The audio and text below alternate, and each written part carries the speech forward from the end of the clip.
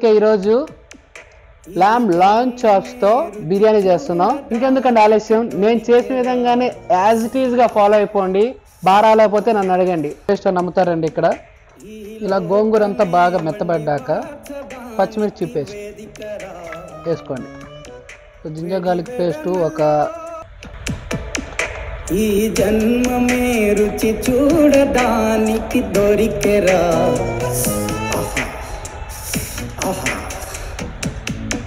ఈ లోకమే వండి వాచడానికి వేదికరా.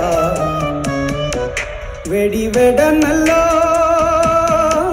వెడి వెడనల్లో నెయ్యి చారు కూరలు అది గోంగూర lamb chop biryani. Full video ఎక్కడ చూడాలో తెలుసు కదా? ఎస్ రమేష్ తెలుగు ట్రావెలర్ ఛానల్లోకి వెళ్ళి ఫుల్ వీడియో చూడండి. మీకు ఎలా కుదిరిందో నాకు చెప్పండి.